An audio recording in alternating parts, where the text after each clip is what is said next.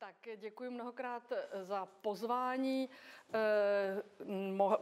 Shodou nějakých okolností jsem mohla nabídnout při pozvání přednášku na téma, které vlastně se úplně přesně netýká ani středověku, ani toho, co teď skutečně, na čem teď skutečně bádám, to znamená dějiny, dějin umění.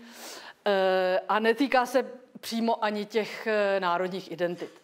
Eh, byla to jakási schoda okolností, že jsem mohla nabídnout přednášku, která do toho programu tady toho vašeho cyklu eh, snad eh, lépe zapadá. A je to takové zamyšlení nad tím, co to je ten veřejný prostor. Nevím úplně přesně, jak tady, ale u nás, a myslím, že je to podobné, ne stejné, se o veřejném prostoru poslední dobou mluví čím dál tím víc. Eh, a eh, kde, která, eh, kde kdo se jaksi zaklíná rozvojem veřejného prostoru, zkvalitněním veřejného prostoru a specificky se téma veřejného prostoru samozřejmě dotýká umění ve veřejném prostoru. Já když to tak vidím a poslouchám, tak jsem si říkala, že sice o tom všichni mluví, a to na základě toho, že e, veřejný prostor skutečně všichni používáme. A e, zároveň ale jsem si říkala, zda e, skutečně to není tak, že ta definice, že, že ten termín veřejný prostor používáme opravdu pro to, co všichni tak nějak víme. Ale skutečně se nad tím zamyslet, co to je, že to s tím se tak příliš často nesetkáme. Eh, protože nemám ráda eh, hledání nějakých podstat a nemám ráda hledání jediného vysvětlení, tak se nebudu ptát po definici veřejného prostoru, ale budu se ptát, kde je veřejný prostor, jak je veřejný prostor a e, taky kde se vzal a především e, komu patří. To bude první část té přednášky, kde bude takové jako o obecnější e, zamyšlení nad těmito otázkami a druhá polovina bude věnovaná konkrétním příkladům toho, jak umělecká díla ve veřejném prostoru, v tom prostoru veřejném fungují, existují, jak ho ovlivňují, jak ho konstruují a tak dále. Asi vás nepřekvapí, že ty konkrétní příklady e, budou české, ale e, pokusím se občas zabrousit i do těch e, zdejších situací, i když se mi tam schválně nemám je tam zařazené, protože samozřejmě je neznám tak, tak dobře a tak, tak spolehlivě. Takže se k ním, když tak potom můžeme vrátit případně v diskuzi. Tak co to vla, čemu říkáme veřejný prostor? Ta, eh, ty dva obrázky nám ukazují eh, dvě základní možnosti. Eh, to jest veřejný prostor jako to, co zbylo vedle soukromých prostorů a může se stát, že nezbyde nic. A nebo veřejný prostor jako to, co, do čeho byly vestavěné, v tomto případě obytné komplexy, takzvané sídliště, eh, a který přitom vlastně nepatří nikomu. Tak, jak to vzniklo, jak to bylo postaveno v tom eh, režimu státního socialismu, tak nepatřil vlastně nikomu. Ten, z tohohle toho hlediska je, je důležité si říct, kdo se o to stará. To je taková jako cesta k tomu, abychom se zamysleli, co to je a kde se to vzalo.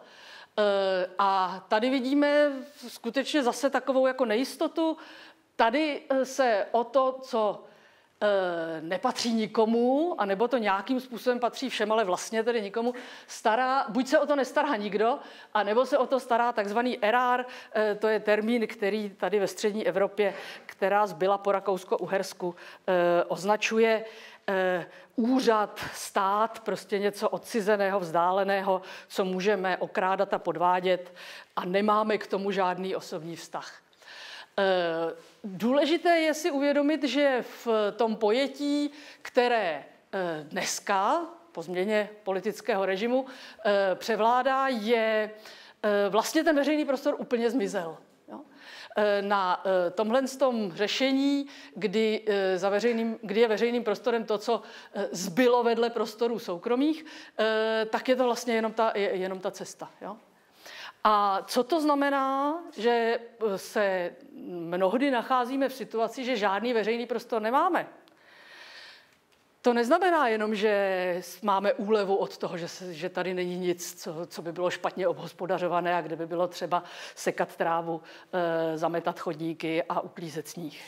Uvidíme v tom dalším výkladu, že to, situace, kdyby nebyl veřejný prostor, je situace, která ohrožuje samotný e, demokratický zřízení. E, veřejným prostorem nemůže být Takhle, eh, ne každé místo, každý prostor, který není nějak, který nikomu konkrétně nepatří, eh, není obydlen a používán, není eh, ještě veřejným prostorem. Jak francouzský myslitel Marcel Auger ukázal, existuje taky kategorie něčeho, čemu on říká non-site, nemísto. Eh, on typicky eh, za nemísta označil eh, parkoviště u nákupních center a letiště. To jsou takové prostory, kde vlastně nelze dělat nic jiného, než projít. Nelze tam být, nelze tam pobít, nelze s tím místem nic dělat. Prostě je to místo, kde jenom procházíme. U těchto těch dvou verzí, u těch, které Ože ukázal jako ty modelové případy nemíst, je to takové jako poměrně pochopitelné, ale e, často se setkáváme s nemísty i uprostřed měst. Když jsem šla sem, tak jsem si říkala, že náměstě Slobody asi původně bylo takové nemísto, ale že úplně perfektní nemísto je prostor, který se nazývá e, náměstí Ference Lista před nádražím. Jako to, že se to nazve náměstím, z toho ještě neudělá nic jiného než nemísto. Tohle je pohled na letenskou pláň v Praze, která je takovým úplně přesně typickým nemístem a myslím si, jestli teda, teď si nejsem stoprocentně jistá, ale myslím, že vy to víte jistě líp, doufám, že to nespletu. E, náměstě Slobody je taky právě na místě, které mělo původně charakter tentýž jako letenská pláň. To znamená, je to ta, e, ten prostor, který e, sloužil nějak i jako armádní cvičiště a je to prostě něco, co bylo teprve dodatečně obestavěno, jakože vznikne náměstí a náměstí nevzniklo. E, v případě letenské pláně e, se o to zatím naštěstí nikdo nesnažil udělat z tohoto náměstí, e, ale momentálně jsou teda jako dlouho už nějakou dobu je neustále omezována různými, různými developerskými projekty, ale právě letenská pláň perfektně slouží na to, abychom si uvědomili, že to ne místo se může stát místem, může stát veřejným prostorem ve chvíli, kdy je využito například na velkou demonstraci politickou.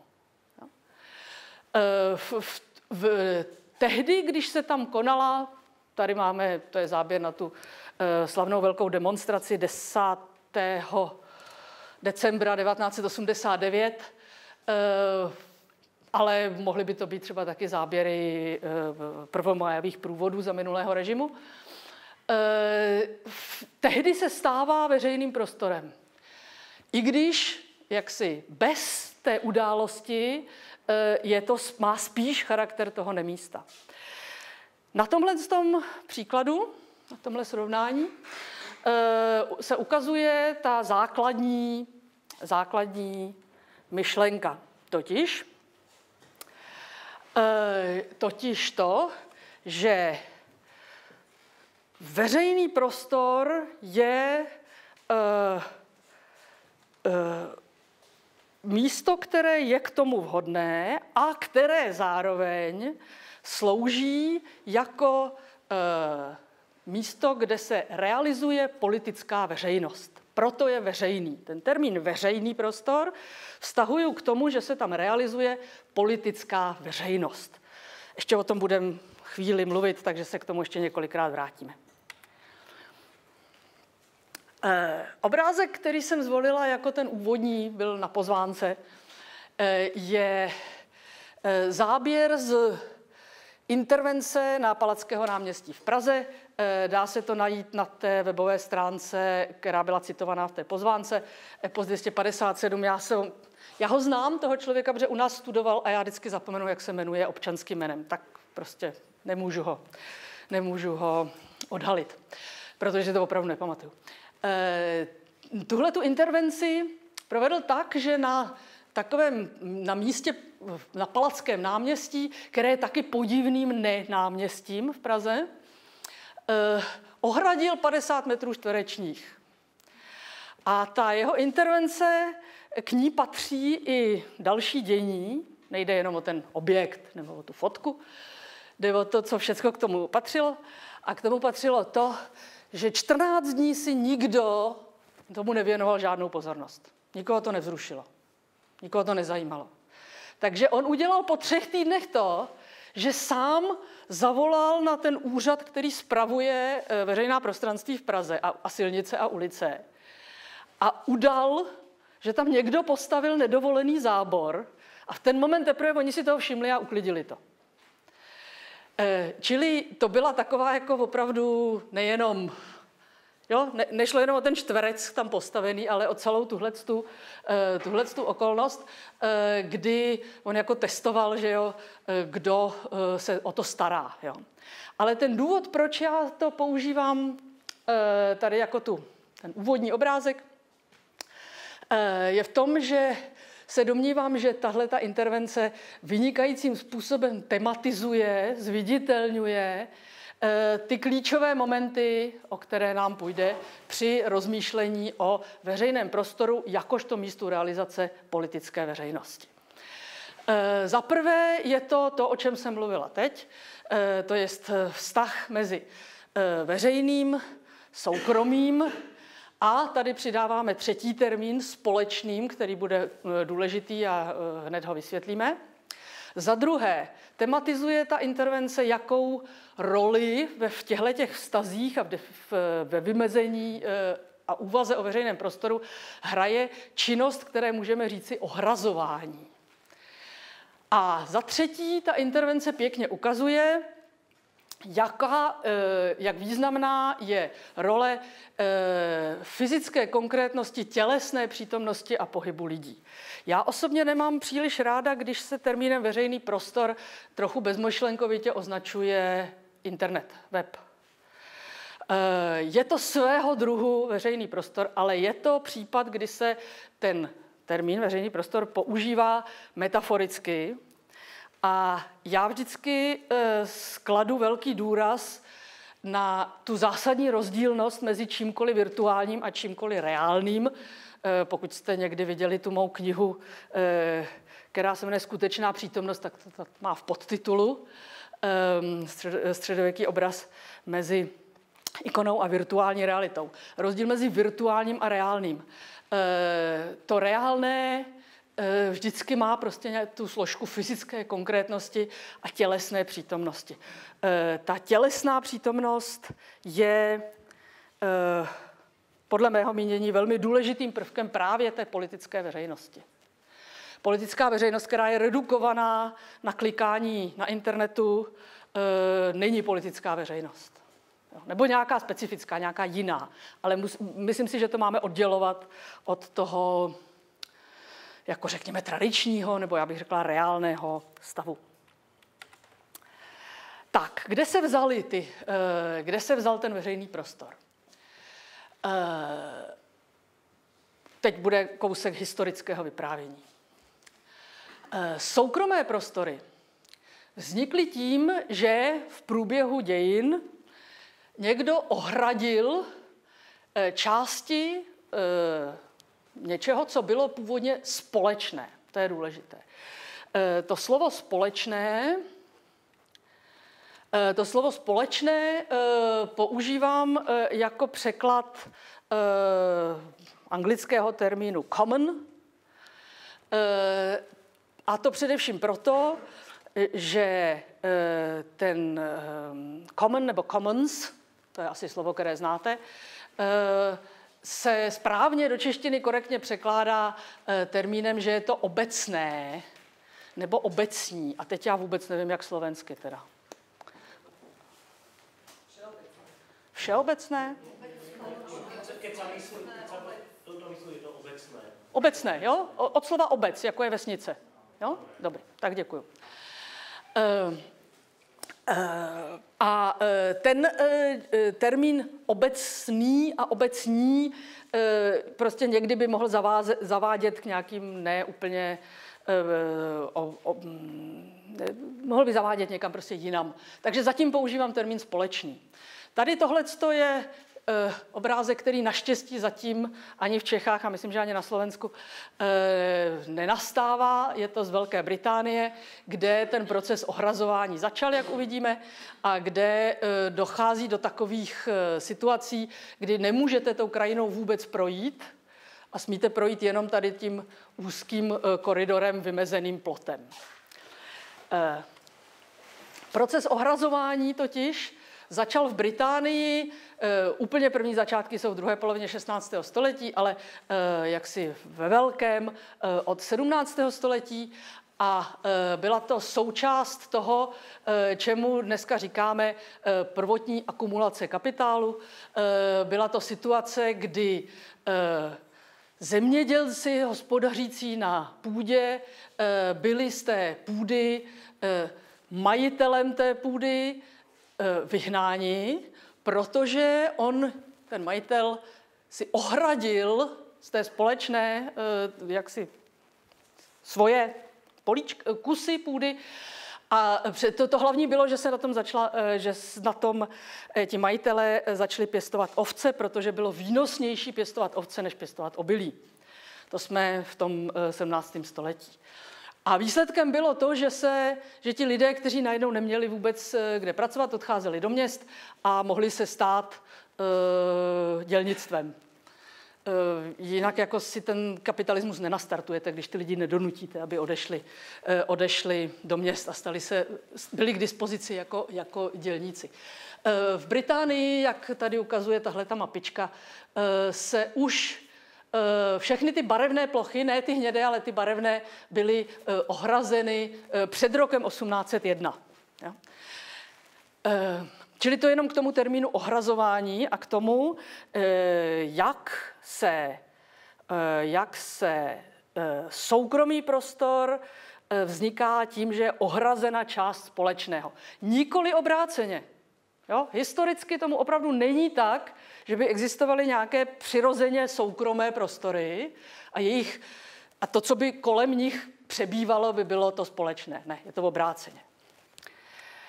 E, ty, e, termín občina je český termín, který označuje právě to, co e, zůstává, ten, to, co v zemědělské společnosti, v zemědělských vesnicích e, zůstávalo tím společným Eh, majetkem, tím commons. Tohle je záběr z jedné eh, vesnice na Vysočině, je to památkově chráněná vesnice. Eh, tam, jak je ten znak, tam stojí tato 600 let stará lípa, je to opravdu jako taková strašně zapadlá, zapadlá obec. A tam se uchoval zbytek té občiny, to je tady tohleto, kde je sad jabloňový a který skutečně všichni společně se o to starají a všichni společně ta jabka používají. A je to takový jako zbytek. To je přesně ta věc, ke které se dneska nelze vrátit. Jako když to někde zbylo, tak je to opravdu jako na, na, na, na, na, ves, na vesnici s 250 obyvateli, e, prostě někde úplně mimo, e, mimo cesty e, nějaké výraznější. E, čili k tomu se vracet nemůžeme. Existuje ale, nebo abych tak řekla, sama sebou se vyvinula velice podobná forma Eh, společné péče eh, o takzvané vnitrobloky. Eh, v Praze, především v Praze, v Brně. Ty, jsou to ty pozemky těch vnitrobloků jsou majetkově rozdělené. Jo? Zatímco u té občiny ne, ta občina nemá prostě žádného majitele, nebo patří celé obci. Tady ty pozemky jsou samozřejmě formálně za to katastrálně rozdělené k těm jednotlivým domům, ale z praktických důvodů to funguje tak, že e, tam, kde teda to tak funguje, jsou některé vnitrobloky, které jsou třeba zastavěné. Že? Tadyhle máme jeden, tamhle nahoře. No tady ten pod tím vlastně taky. Ale e, čím víc prostě se to tam se konkrétně Vinohrady stávají tou, tou čtvrtí mladé mladých eh, lidí, tak se eh, víc a víc dochází k tomu, že se eh, ti lidé společně starají, společně používají tenhle ten prostor, protože on sám vlastně si to vyžaduje. Jako rozdělit ho na, rozdělit ten vnitroblok na na 25 malých pozemečků by nedávalo žádný smysl. Čili nemůžeme se vracet k, nějakému, k nějaké iluzi něčeho, co bylo kdysi, ale mohou vznikat takové situace, které vlastně něco takového nám přinášejí. Abychom se ještě vrátili jednou, abychom se ještě vrátili do historie k tomu termínu té uh, politické veřejnosti. Uh, těmi primárními, původními veřejnými prostory jsou taková místa, kde se občané scházejí k výkonu svých politických práv. Tedy O politické veřejnosti mluvíme až v moderní době, ale eh, scházejí se k výkonu svých politických práv. Tady ještě, tohle jsou antické samozřejmě eh, příklady, tohle je, eh, tohle je Agora v Aténách, tamhle rekonstrukce původní zástavby. To je takové místo, kde se v tom antickém demokra- typu demokratické společnosti scházeli takzvaně všichni Říkám takzvaně, protože to byli jenom muži a jenom svobodní. Vyloučeny byly ženy a otroci. E, ale jako takzvaně všichni, e, k tomu, aby společně rozhodovali o dění ve své obci. To je teda primární veřejný prostor. Trochu jinou verzi veřejného prostoru nám ukazuje e, bazilika v Trevíru, to jsme v pozdní římské říši, Eh, která eh, představuje eh, typ té, té, té pozdní, pozdní římské říše. To je takový prostor, tentokrát zaklenutý, uzavřený, kde se taky scházejí lidé, taky všichni, všichni, to znamená muži a ne otroci, avšak ne proto, aby rozhodovali, ale aby naslouchali tomu, co jim vladař sděluje. To je jiný typ té, eh, té politické eh, veřejnosti. Jo? Eh, tato politická veřejnost, která se schází tady, má právo společně rozhodovat. Politická veřejnost, která se schází tady, má právo poslouchat, má pasivní právo naslouchat a přesto Eh, to naslouchání je podstatné, protože bez toho by ta politika nemohla fungovat. Jo? Oni se musí sejít, aby, eh, aby ten stát eh, existoval a mohl fungovat. Tahle ten pasiv, jo, to, že to, to, že ta bazilika samozřejmě připomíná architektonickým typem křesťanský kostel, je dáno tím, že křesťanské kostely právě z tohoto typu bazilik vznikly. Tady máme pražské dva příklady právě toho, jak na těch náměstích, eh, která jsou skutečně veřejnými prostory, se eh, lidé schromažďují, aby realizovali, aby se veřejnost schromažďuje, aby realizovala svá politická práva. Zase tady tohle je záběr na revoluci z roku 1989 na Václavském náměstí, tedy kdy ta veřejnost aktivně vykonává nějaké opravdu jako aktivní politické, politické nějaký výkon, mění něco ve společnosti. To nahoře je staroměstské náměstí s grafickým záznamem e, popravy 28 českých pánů po bitvě na Bílé hoře. E, a to je ta veřejnost, která se schromažďuje, aby schlédla popravu, jakožto právě mocenské gesto, kterému musí být zase přítomna. Jo? Čili to je zase ta pasivní a aktivní, e, e, pasivní a aktivní politická práva. Uh, městské prostory uh, bývají nějakým způsobem konstruovány, utvářeny tak, aby tam nějaká forma toho, té politické veřejnosti mohla fungovat. Nebo naopak nemohla. Eh, tady nahoře máme tři obrázky z nového města pražského, založeného Karlem IV. v roce 1348. Tohle je historická mapa, eh, tohle je eh, Holarova ne, Sádelerova rytina z 16. století zachycující nové město. A tamhle to nahoře je, jak vidíte, Google Map se zakreslenými kostely, které mají vytvářet podle autorů tady těchto těch konstrukcí tadyhle kříž. A na základě toho se dočtete poměrně běžně Eh, o tom, že eh, tím ten Karel IV. chtěl vtisknout tomu městu posvátný charakter, že je tam ten kříž. Eh, nebudem zacházet do dalších kritických detailů, jako například, že jako když tam chodíte, tak si ten kříž asi neuvědomíte, musíte se na to dívat z Google Map, což jaksi neměli ve 14. století. Ale Tady, já to tu mám kvůli něčemu zajímavějšímu. Tady to dole je mapa Washington DC, Eh, tedy hlavního města Spojených států, eh, které je typickým osvícenským, eh, má, má typický osvícenský design městský, to znamená založený především na té pravouhlé městské síti. Ta pravouhlá městská síť, jak zde vidíte, je jádrem toho nového města. Tam, kde to šlo, to znamená tady a tady, bylo zbudováno na té pravouhlé městské síti. No a vztahuje se to navzájem k sobě a k tématu veřejného prostoru tak, že to je typický příklad toho, kdy ten vládce e, navrhuje nebo umožňuje stavět to město právě tímto způsobem, aby bylo přehledné.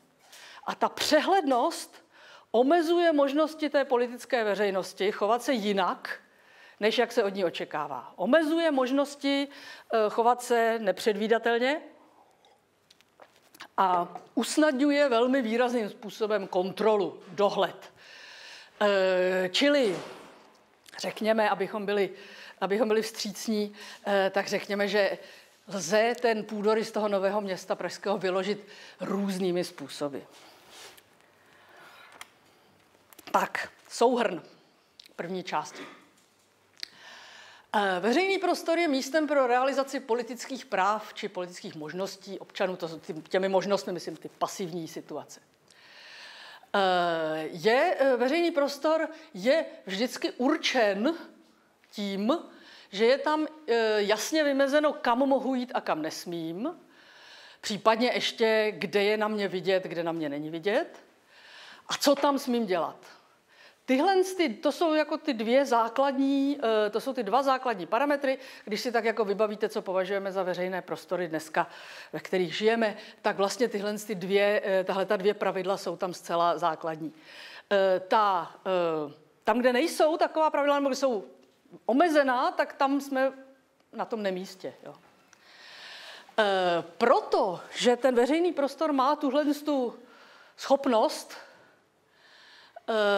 být místem pro realizaci politických práv či možností eh, občanů, tak je formován, kontrolován a udržován politickou mocí. Prostě to jinak není možný, je to tak vždycky. A tudíž nás má zajímat, jak je kontrolován, udržován, eh, formován. Jo? Nemůžeme říci, no můžeme, pokud jsme anarchisti, tak řekneme pryč se vším tímto. Jo? Ale jakmile jsme cokoliv jiného než anarchisti, tak nám nezbývá, než uznat, ano, je to tak s tím veřejným prostorem, ale tudíž se jako občané musíme zajímat o to, jak je formován, kontrolován, udržován. Kým, pro koho je to výhodné, to, co se tam děje. Veřejný prostor nezaručuje demokratickou veřejnost. Viděli jsme, eh, jako, eh, že jakási forma veřejného prostoru eh, je nutně funguje i v těch jaksi situacích, kde opravdu o demokratické situaci mluvit nejde, ale eh, je její podmínkou. Bez možnosti sejít se a to tak, že ve vyhraněných případech sejít se proti vůli toho, kdo ten prostor ovládá, organizuje a tak dále, tak bez toho prostě ta demokratická veřejnost nemůže být demokratickou veřejností a nemůže vykonávat to, co prostě potřebuje. A to právě proto, že bez něj není možná ta fyzicky nebo tělesně konkrétní e, participace. Jo? A e, bez e, rozdíl mezi právě tou digitální participací a fyzicky tělesně konkrétní prostě zná každý, kdo kdy pořádal nějaké veřejné schromáždění, ale třeba jen každý, kdo pořádal nějakou přednášku. Prostě digitálně se vám tam přihlásí spousta lidí, ale jako kdo přijde fyzicky, to se počítá. Jo? U těch třeba demonstrací nebo výrazných politických shromáždění je to naprosto jasný, zřetelný rozdíl.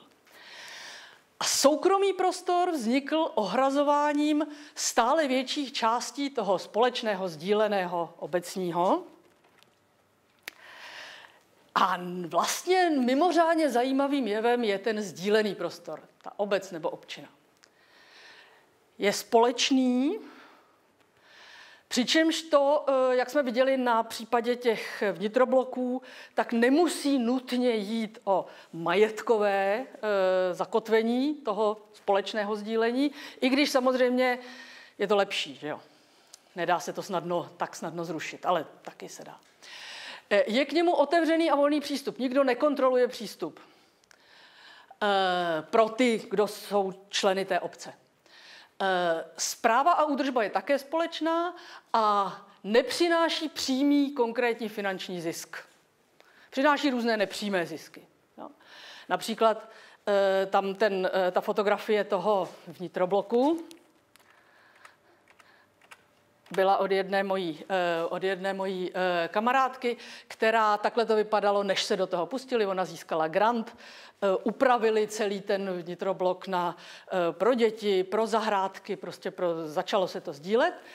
A hned, hned následující rok, hned následující rok realitní kancelář, která inzerovala prodej jednoho z těch eh, bytů, eh, uváděla skvělý vnitroblok, báječný, prostě báječné prostředí a byl to byt té jedno, jedné z těch lidí tam, kteří původně odmítali vůbec podpořit existenci toho, aby tam ta úprava vnitrobloku vznikla. Jo? Čili to je nepřímý způsob, jak přináší zisk Eh, ten společný prostor, ale ne přímý zisk. Jo. No, nemůžeme se vracet, jak jsem říkala, k té původní sdílené občině, ale můžeme prosazovat v zastupitelském demokratickém systému eh, tam, kde je to vhodné, eh, prvky komunitního plánování nebo aspoň komunitního rozpočtování. No a k tomu jenom taková poznámka, že v tomto smyslu tvrdím, že není pravda, že by komunální politika nebyla politická je politická, protože buď eh, někdo bude spíše důvěřovat, eh, bude klást větší důraz na to společné, anebo bude spíše mít důvěru eh, v jednotlivce. Jo? Ty, tyhle ty preference prostě se tam objevují. Tak, to byla první část. A teď o uměleckých dílech. Umělecká díla, vsazovaná do veřejného prostoru, se tam samozřejmě dávají kvůli tomu, aby, že jsou krásná a aby to bylo krásné. To ještě za chvilku uvidíme konkrétní tam diferenciaci. Ale zároveň vždy ten veřejný prostor obsazují. Vstupují do něj nějakým, nějakým konkrétním způsobem. To, co vám tady e, demonstruju, jsou Obrázky vztahující se k momentálně stále znovu oživované a nedávno znovu divoce oživené kauze pražské, a, e, kterou je snaha o znovu postavení Mariánského sloupu na staroměstském náměstí. V úplné stručnosti, protože o tom by mohla být samostatná přednáška. Jo. V úplné stručnosti. E, Mariánský sloup byl postaven v roce 1650 e, na oslavu vítězství eh, nad, nad protestantskými Švédy, eh, vítězství katolických Habsburků nad protestantskými Švédy ve 30-leté válce, zároveň na poděkování za osvobození od moru, ale zároveň i od té hreze husické, protestantské a tak dále. Tak byl prostě vytvořen, postaven, vysvěcen, já nevím co všechno. Na tom náměstí, jo, tohle to ne, kudy, kudy dál. Ehm, v roce, eh, jo, tohle bylo teda 1650. Eh, v roce 1915 eh, při pětistém jubileu upálení Jana Husa byl na dohled kousek vedle postaven secesní pomník Jana Husa, který je tam dodnes. V roce 1918, čili pouhé tři roky to tam stálo tímto způsobem. V roce 1918, 3. novembra, tedy pět dní po, po vzniku samostatného tehdy ještě ne Československa, samostatného státu, eh, ten sloup byl stržen skupinou žižkovských dělníků, levičáků a anarchistů eh, a to za obecného souhlasu politické reprezentace. Následujících 20 let první republiky se ho nikdy nikdo ani nepokoušel znovu postavit, protože byl chápán jako symbol Habsburků, Habsburské vlády, která byla tehdy prostě to hlavní. Eh, Takhle vypadalo to staroměstské náměstí a tady vidíme, že tadyhle, tohle je radnice, která schořela za, eh, na konci druhé světové války a tadyhle jezdila tramvaj a kvůli té tramvaji byla zbořena tahle ta stavba veliká, takzvaná Krocínová kašna, eh, renesanční kašna, eh, která se ukázala už být nepotřebnou, protože byla zavedena voda vodovod na Starém městě a bylo potřeba to místo pro tu tramvaj, tak byla zbořena. No, v roce 1990 se ustavil spolek pro znovu postavení Mariánského sloupu a ten od té doby usiluje stále znovu a znovu při každé volbě nového zastupitelstva prosadit možnost postavit ten Mariánský sloup znovu. Jsou z něj dochované jenom fotografie e, a několik rozbitých fragmentů a tato společnost Eh, sehnala peníze a skupina velice poctivých, eh, upřímných eh, lidí v čele se sochařem Petrem Váňou už prostě pořídili většinu toho, ale je to nový objekt. Nelze to rekonstruovat, protože je zachováno jenom pár fragmentů. Ale neustále znovu se opakují, když pojete po Stroměstském náměstí, tak tadyhle někde v těchto místech je v dlažbě vsazený takový jako půdorys. Byl tam původně nápis, zde stál a bude stát Mariánský sloup, ten zas musel být odstraněn. A opravdu jako každých pět, šest let se opakuje spor o to, zda, vrát, zda znovu postavit nebo nikoliv Mariánský sloup. Eh, je to maličko podobné tady zdejšímu pomníku Marie Terezie, ale ten zásadní rozdíl je v tom, že tohle je sakrální záležitost, když to pomník Marie Terezie není sakrální záležitost. Eh, takže ta síla, ti, ti, ta skupina těch lidí, kteří to neustále prosazují, jejich argumenty jsou argumenty náboženské, což, jak tušíte v české společnosti, jako je vždycky nakonec narazí a nebyl postaven ten slop. Já jsem na straně toho, že se stavět nemá, eh, právě proto, že, to, eh, že ti, kdo toho prosazují, to jednoznačně mají zasazený do nějaké linie katolického triumfalismu. Jo. No, ale k čemu to celé směřuju? Velké spory mývají často tu vlastnost, že jsou tím větší a silnější, oč naléhavěji potřebují maskovat skutečný stav věcí. A skutečný stav věcí je tento. Skutečný stav věcí je ten, že to náměstí není veřejným prostorem, tam nemůžete udělat demonstraci, protože je téměř trvale zastavěno komerčními, e, komerčními stánky. Jo. Téměř trvale, vždycky jako tři neděle to tam není, ale pak už zase jsou velikonoce a, pak, a, a, a tak. Jo. E, takže eh, tohle, tenhle ten příběh eh, je takovým u nás hodně právě živým a aktivním. Ta poslední, ta poslední akce se odehrála v září, eh, kdy už zastupitelstvo pražské schválilo, že se to tam teda smí postavit a pak to zase odvolalo. Ehm, chci na tomhle teda jako, chci ukazovat, jak, že takhle, že argumentace těch, kdo tvrdí, vždyť je to krásné barokní umění, tak proč by to tam nemohlo stát?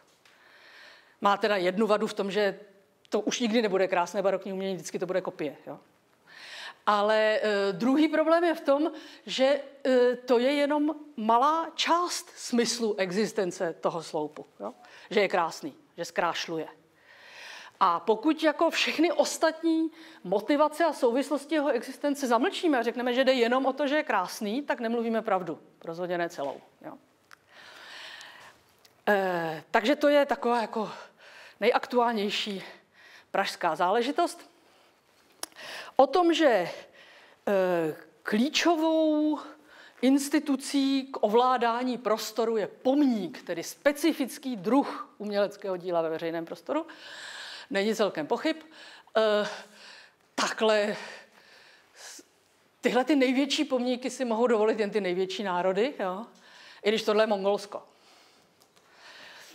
E, ale tohle to doufám, já nevím, jestli to znáte, to je u Volgogradu eh, v Rusku pomník oslavující vítězství v bitvě tehdy u Stalingradu. No tohle to určitě znáte. Ale ani sebevíc monumentální pomník není odolný proti zničení nebo snaze o subverzivní přeznačení. Samozřejmě, že tahle ta subverzivní přeznačení jsou, nejsou v tom reálu. Jo? Tam skutečně pořád je tahle ta patriarchální, monumentální konstrukce, ale e, aspoň teda jako v tom virtuálním prostoru. A e, tohle je samozřejmě záběr z odstřelení Stalinova pomníku v Praze, e, který byl e, vstyčen 1950, byl odhalen 1956, to znamená několik let po Stalinově smrti, čili byl sice největším Stalinovým pomníkem na světě, Eh, ale byl odhalen poněkud pozdě, takže za pouhých, eh, za pouhých, a teď jestli se nepletu, sedm nebo osm let eh, byl zase odstřelen. Čili taková ta, to sebevědomí, ze kterým je takový pomník jako vsazen někam jako ovládnutí prostoru, je samozřejmě velmi problematický. Jiným eh, ty, eh, ty, ty, ty, ta, ta přeznačování, to, to, to, to jako zesměšňování eh, pomníků může nabít i podobu intervence v reálu. To nahoře je pomník sovětské armády v, v Sofii v Bulharsku, který opravdu takhle je přemalován. To není jenom digitálně, jo? to je opravdu v reálu takhle. Eh, a eh, tohle je známý případ eh, tanku číslo 34, který byl unikátním, opravdu jako zvláštním typem pomníku. Já tomu říkám, já tomu říkám pomník, pomník jako monumentální ready-made, kdy v roce 1990 nebo 91 David Černý, dnes slavný umělec, tehdy student Akademie výtvarných umění, s přáteli ho natřeli na růžovo, což je ta nejhorší barva, kterou můžete té armádě jako e, tam dát. E, záhy poté byl odstraněn, e, pak byl odstraněn i ten sokl, takže dneska je tam fontána. A ten tank se dostal do muzea, stal se muzejním exponátem a letos na jaře byl jakožto muzejní exponát vystaven v Brně, jakožto součást výstavy věnované kultuře 90. let. A skupina, vel, jako politicky velmi nesympatická skupina, jo? nesouhlasím s nima politicky, e, přikryla ten tank svým vlastním heslem. A ačkoliv před pouhými několika málo 25 lety vznikl ten, um, ten uh, památník tak, že někdo prostě provedl radikální intervenci do oficiálního uh, uměleckého díla ve veřejném prostoru, které prostě jako stělesňovalo vítězství sovětské armády, uh, tak ve chvíli, kdy se udělali něco podobného, tak to bylo prostě jako stíháno, policie na ně, pokutu a tak. Na tom krásně vidíme, Eh, jak, eh, jak žádná z těch vlastností na tom uměleckém díle nelpí, ale je dána kontextem, ta situace. No, eh, co se týče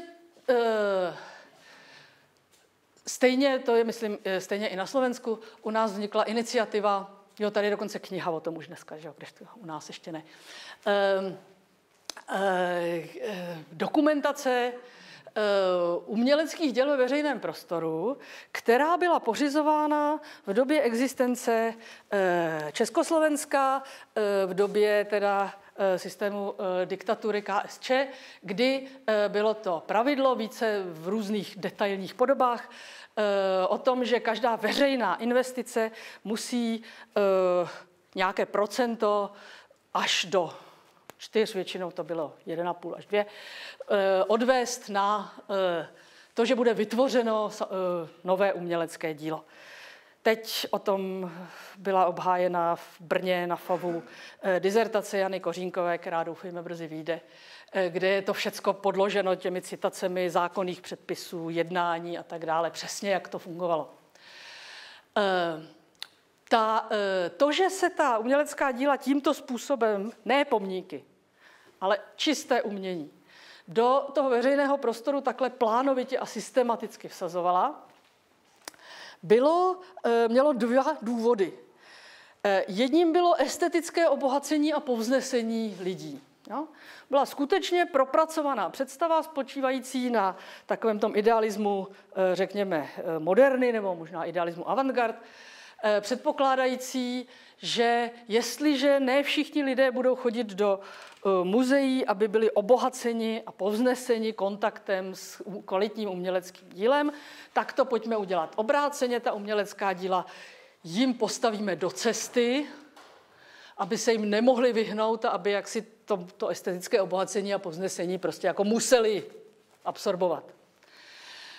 Eh, druhý, druhá motivace toho, která eh, nezaznívala v tom režimu, eh, režimu eh, diktatury KSČ, ale která zaznívala dříve, Poprvé bylo tohle 100% na umění uzákoněno v Československu v, Brně, v Brně, Brně městě a brněnském kraji v roce 1938.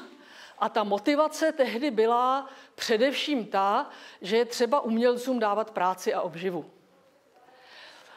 Či to je ta druhá položka a když se podíváme na, ty, na, ty, na ta ustanovení v řadě měst a zemí, kde se tohle eh, je takto uzákoněno, tak tam bývají obě dvě jako nějakým způsobem přítomné v nějakém poměru. Eh, tohle to teda jsou, eh, teď tady mluvíme o těch početných uměleckých dílech, která byla s tímhle s tím jako záměrem systematicky stavěna, budována v době, v době toho minulého režimu. Eh, ta dnešní dokumentace a řekněme takový eh, rostoucí zájem eh, především mladších lidí o tahle ta díla, ovšem podle mého mínění bude muset se dřív nebo později vyrovnat s tím, že celá řada těchto objektů byla pořizována skutečně jako jednoznačná politická propaganda, to znamená, že mají v sobě něco z těch pomníků. Jsou to umělecká díla, sochy, mozaiky, já nevím co, ale eh, ten, ta motivace k jejich pořízení byla podobná jako u pomníků. Jo? To znamená, byla tam velice silná složka té uh, jednoznačné politické propagandy systému, který prostě jako s ním dneska nesouhlasíme a odmítáme. Uh, to má zase ještě dvě souvislosti. Jedna je ta, že bohužel jsem o tom bohužel přesvědčená a zejména jako pamětnice doby, kdy tohle vznikalo, si to velmi živě pamatuju, eh, jak jsme, to, jak jsme z toho byli prostě otrávení, že jsou to v určitém počtu krajně nekvalitní díla. Že opravdu jako, to prostě jsou špatné sochy. A to je jeden, jedna eh, prostě kategorie, kde zase budeme muset dříve nebo později se tomu začít věnovat, protože jinak to neochráníme. Eh, a to je naučit se charakterizovat a rozlišovat kvalitu. Že prostě něco je kvalitní a něco není kvalitní. A e, to je jedna věc, do které se nikomu nechce z té konzistorické obce, ale dřív nebo později to bude nut, prostě nutné udělat. Jo? Jsem přesvědčena. Protože, já nevím, já si prostě moje vzpomínka na uh, revoluci v roce 89 je, a asi mi nebudete věřit, ale je to opravdu tak, že děli se obrovské věci a my, co jsme jako byli se pohybovali v tom světě umění, tak moje jedna z myšlenek byla, teď někdo konečně odstraní ty hnusné sochy. Nikdo je neodstranil a stojí do dneška u Národního divadla. Prostě na nej, nejexponovanějších místech sochy, které jsou podle mého mínění prostě jako špatné, vždycky špatné byly. A jeden z důvodů byl ten, že to byly ty tak prestižní zakázky, že byly zadávány po politické linii, nikoli po linii kvality. Jo? Zatímco tyhle ty realizace, ty byly zadávány skutečně jako e, výběrovými komisemi, ve kterých skutečně převážně rozhodovala kvalita té práce. Druhé hledisko ovšem, a to se týká třeba tady té, e, myslím, že ústecké mozaiky, Ústí nad Labem, myslím, Teplic, no, něčeho tak, někde na severu. E, druhá okolnost je ovšem zase vlastně protichůdná k tomuhle, a to je to, že e, to, ta propaganda, ta politická propaganda toho režimu, se kterým nesouhlasíme, je e, historickou památkou. A já se osobně domnívám, brzo to bude 30 let, že to je tak jako ta epocha, kdy už bychom měli dokázat e, si uvědomit, že s tím minulým režimem už nemusíme bojovat, ale že ho máme uznat jako historii. Jo? To je to, o co jsme se třeba pokoušeli v tom e, výstavním projektu budování státu, e, který se týkal celého Československa, čili do roku 92. A e, snažili jsme se k tomu přistupovat právě jako k historické látce, ne k látce ideologické, kde musím jako potlačovat to, s čím nesouhlasím, bojovat proti tomu, politicky se proti tomu vymezovat, ale jako k historickému dokladu. Jo? E, no a tam zase jako ten historický doklad by to tam mělo zůstat.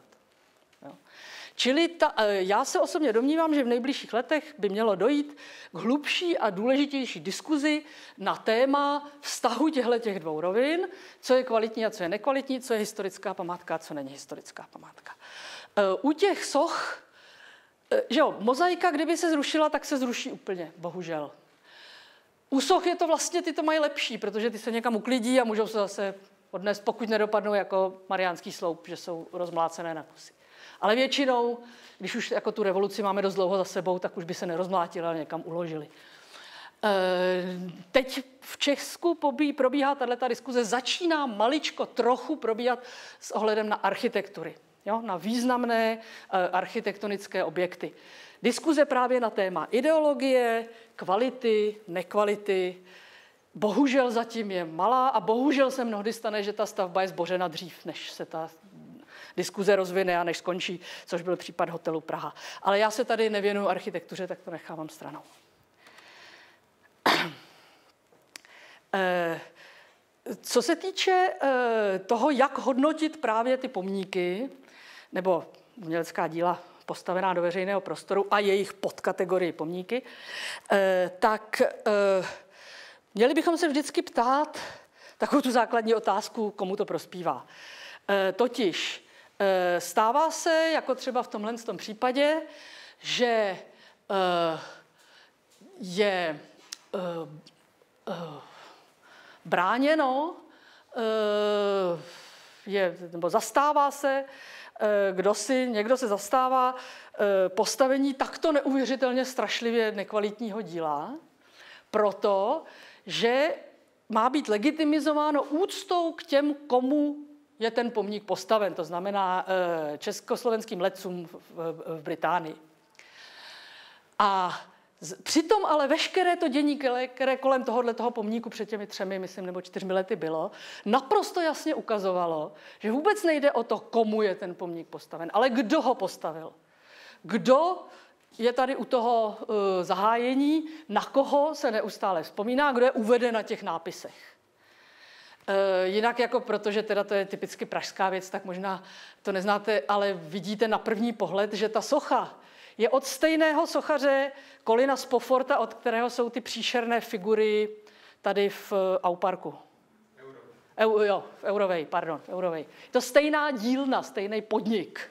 Colin Spofford. Eh, ten lev prostě je po všech po, po, po všech nejrůznějších stránkách prostě strašně špatně. Ale jako to, co vidíte na první pohled, je ten neuvěřitelný sokl který eh, jako, že jako proporce špatně, materiál špatně, všecko špatně, to v prvním ročníku nemůže nikdo navrhnout něco takhle strašného. A to je proto, že je provizorní. Protože ten pomník do dneška nemá schválení, nemá ty takzvaná razítka, což nebránilo tomu, že je postaven, ale je postaven jako provizorní, což se projevuje v tom, že ten sokl nemá základy. Proto je tak veliký. No, e, takže je, jako vidíte na tom zcela názorně, jak e, krajně nekvalitní, jak byla řeč o té kvalitě, nekvalitě předtím, jak krajně nekvalitní objekty se mohou dostat do veřejného prostoru. A je samozřejmě otázka, na kterou nebudu nabízet žádnou odpověď, jenom ji tak jako řeknu. E, zda, nebo takhle, jestliže kvalitní umění povznáší esteticky toho, kdo ho vidí a ten pomník je jako vyjádřením skutečné hluboké úcty tomu, komu je ten pomník postaven. Co dělá špatné umění? Podle mého mínění špatné umění zesměšňuje celou tu situaci, nebo přesně řečeno jako znemožňuje ji. Jo? A možná dokonce působí negativně. To znamená, to je ten původní význam slova pohoršení, že někdo se stane horším. Jo? Že když prostě chodíme každý den jako já kolem tohodle, takže jako nám hrozí, že se staneme horšími. Namísto, abychom byli povzneseni. Tohle je pan starosta Lomecký, který právě tenhle ten pomník vyvzdoroval, ačkoliv na ně nejsou ta razítka. Starosta Prahy 1 za TOP 09. Eh, vedle něj je sochařka jménem Anna Chromy, která věnovala Praze, eh, která má v Praze nejvíc uměleckých děl ze všech měst na světě protože je tam všechny věnuje vždycky. Eh, a ten, eh, to je ten problém těch darovaných, eh, darovaných uměleckých děl, která neprocházejí komisí, protože je to... A tady je důležité právě, že teda jako celé se to děje vlastně na oslavu toho politika. Jo? Stejně jako to předtím. Ale tady je to zřetelnější. No tohle je příklad z Hradce Králové, kde s proměnutím sochařsky teda tak krajně nepodařený pomník. Ten byl tak velmi nepodařený, to je pomník eh, starosty Ulricha, který nechal postavit, eh, který nechal postavit ten moderní Hradec Králové. Eh, byl tak strašně nepodařený, že ho dokonce odstranili potom. A tenhle, a ten byl vytvořen jedním z těch sochařů, kteří za normalizace byli jaksi těmi politickými byli, byli jen, jenom politicky se dostali na vysoká místa, potom 20 let nedělal nic a pak udělal tohle. No, eh, ta, eh, co se týče těch uměleckých děl ve veřejném prostoru, tak eh, je třeba zmínit ještě jednu okolnost. Eh, právě tím, že jsou v tom veřejném prostoru, se s nimi děje něco, co eh, s uměleckými díly v muzeích a galeriích ne. Dokonce ani ne většinou s uměleckými díly, která někdo soukromně vlastní. Totiž žije se s nimi, stávají se součástí právě té e, veřejnosti, která e, je nějakým způsobem využívá, používá. A zase, ať už, jo, tady, tohle samozřejmě není, e, není zesměšňující intervence. To je vážně míněno. Jo? To je obal, který na to dávají vždycky, když jsou e, trhy nebo, e, nebo novoroční rachejtle nebo něco takového, jo? aby se tomu nic nes... Už to samozřejmě někdo polil červenou barvou, když to tam dali poprvé. Ale celý ten, e, celý ten brněnský orloj, ačkoliv se mu neustále všichni smějí, tak ve skutečnosti funguje naprosto přesně tak, jak má fungovat umělecké dílo ve veřejném prostoru.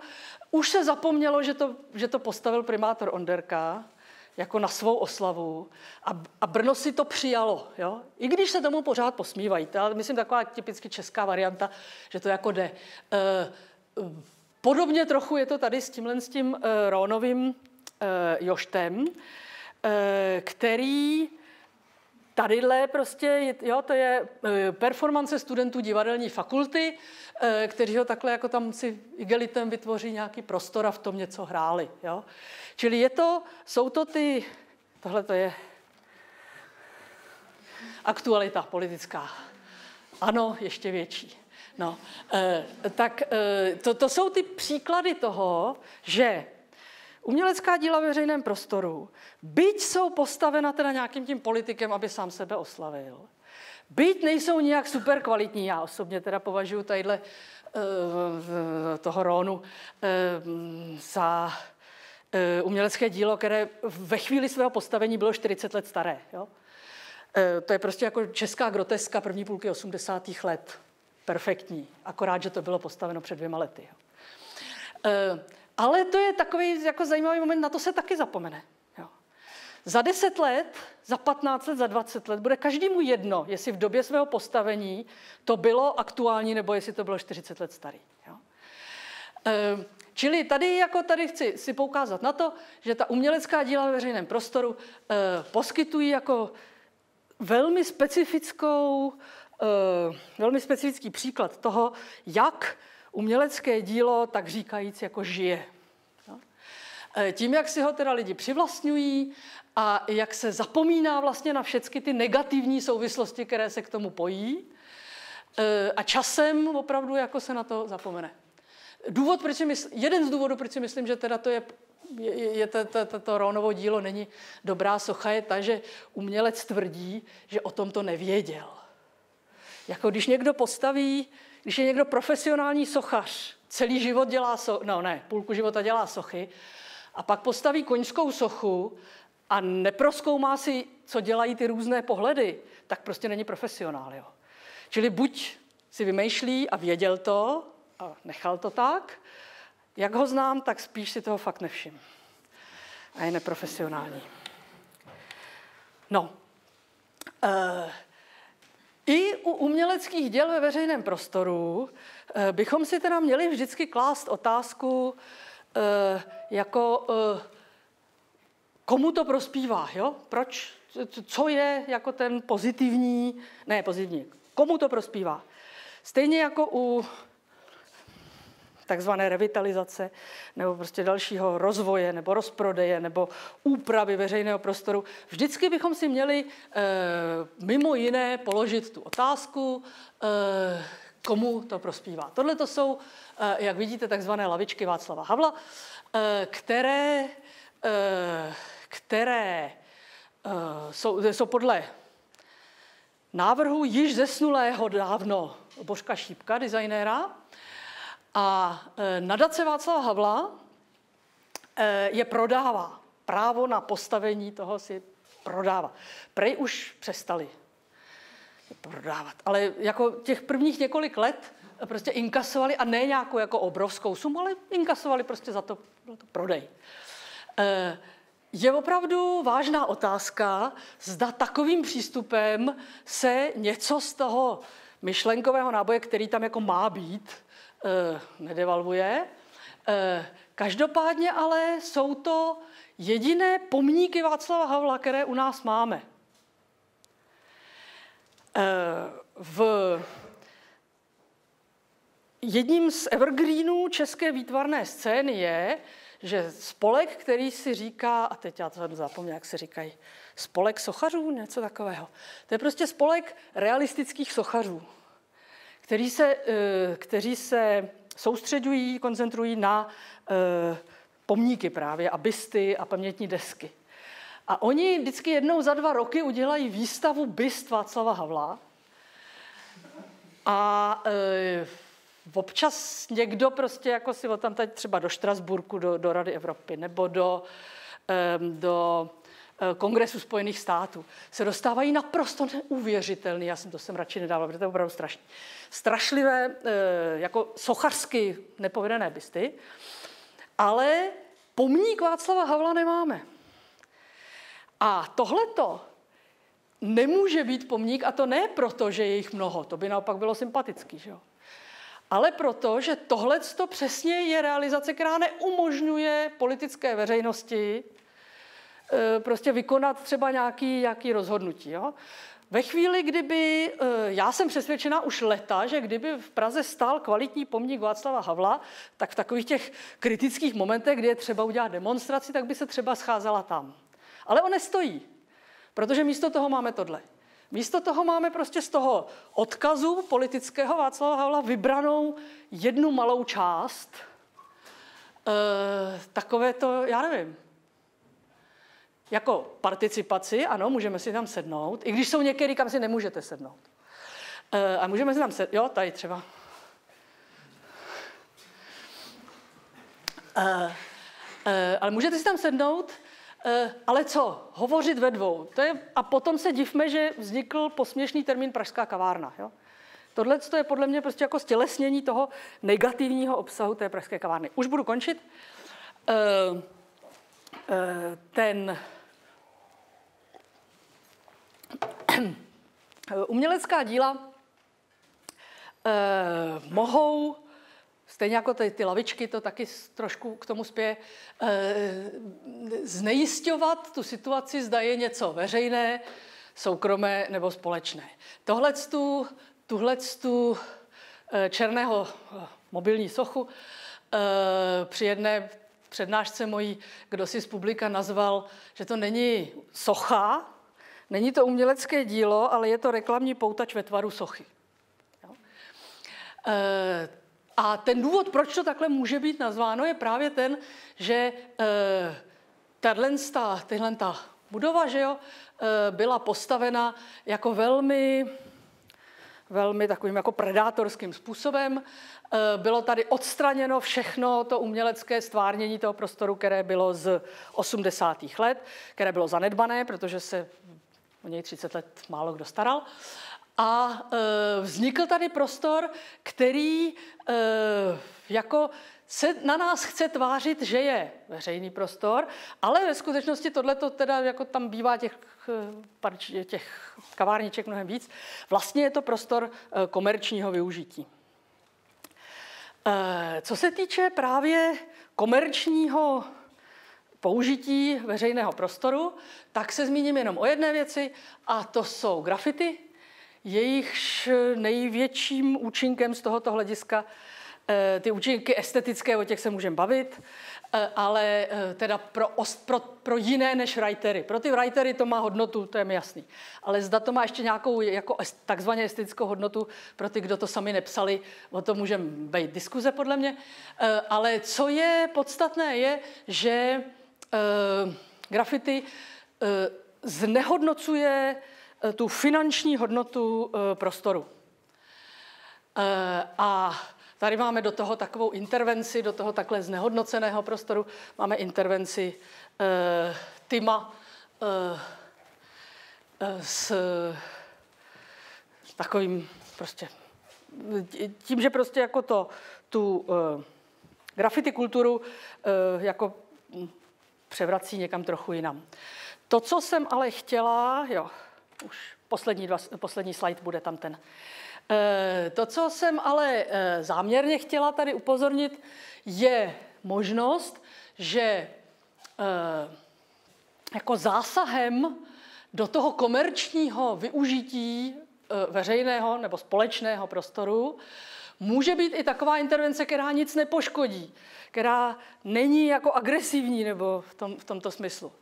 E, jako například byla e, intervence skupiny, proto tady nemám autora, protože jich bylo asi šest, e, studentů Pražské AVU, e, kteří reflektory z reklamy na Barandovském mostě obrátili tak, aby bylo vidět významné umělecké dílo z doby no, Klimeše, ale jak se jmenuje Klimeš křesním jménem, pardon, omlouvám se, Antonína. Antonína, snad. E, betonová obrovská monumentální socha jménem Rovnováha, e, která tam byla postavena právě, když se stavil Barandovský most, tak to procento na umění bylo využito tadyhle na to. Ale vlastně dneska částečně zarostlá, částečně se ji není vidět a pod mě ji teda není vidět vůbec. Čili tohle je takový typ intervence, která sice zcela jasně ukazuje, nebo jako zbavuje eh, ten veřejný prostor toho komerčního využití, eh, ale dělá to jako míru milovným způsobem, kdy nic není nenávratně poškozeno. Čímž chci říct, že pokud pro někoho jsou grafity jako příliš agresivním zásahem, tak existují i zásahy mnohem míru milovnější. Tak, poslední, eh, poslední eh, situace je opět jedna pražská, eh, pražská eh, jedna, jedna, jedna pražská záležitost. Znáte Malostranské náměstí, eh, takzvané horní, takzvané dolní. Obě byla donedávna, jak je to na této fotce, eh, parkovišti. A to nejen tak nějakými parkovišti, ale je to parkoviště eh, poslanců, protože poslanců parlamentu, protože tohle a ještě směrem sem ty bloky všechny jsou obsazeny parlamentem, sněmovnou i senátem. Poslancům zelených za Prahu 1, ne, za Velkou Prahu, za, za magistrát, se podařilo zorganizovat soutěž na takzvanou revitalizaci, já to slovo opravdu už odmítám užívat, eh, na takzvanou revitalizaci Malostranského náměstí. V zadání bylo, že strom, který tam roste, tady tenhle ten, musí být skácen. Aby se docílilo čistého prostoru. To bylo zadání. Eh, podle toho byly, podle zadání byly vybráni vítězové a potom se naštěstí změnila politická situace, takže se nic nerealizovalo. Součástí eh, některých těch návrhů, já tady nemůžu ukázat všechny, protože by to zaplnili, bylo opět navrácení pomníku. Eh, to je pomník maršála Radeckého, eh, což je osoba, která je významná z jediného důvodu.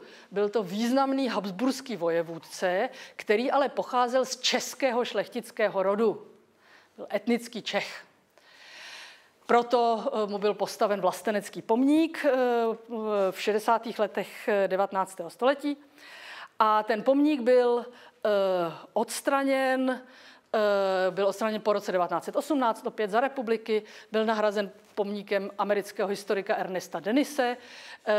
A ten byl zas odstraněn nacistickou zprávou za, za protektorátu, takže tam není žádný.